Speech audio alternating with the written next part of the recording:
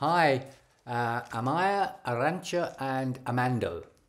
Some things from our class on Tuesday afternoon. Uh, ayuda, aid or help, but aid such as government aid, medical aid. Ayudante, helper, helper. Uh, tareas domesticas, housework, housework. And deberes, homework, homework.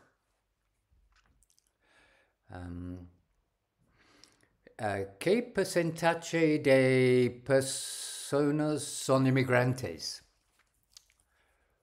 What percentage of people are immigrants? What pe- percentage of people are immigrants? Uh, no tienen trabajo. They don't have a job. They don't have a job. Or, no están trabajando. They are not working.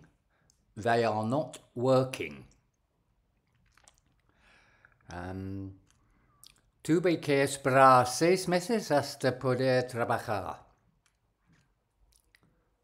She had to wait six months until she could work. She had to wait six months until she could work. Cuando pasaron los seis meses?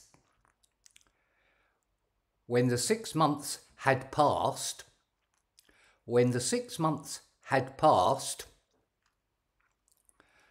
um, and um,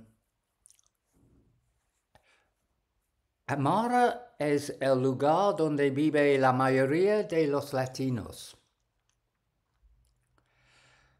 Amara is the place where more Latin people are living. Amara is the place where more Latin people are living.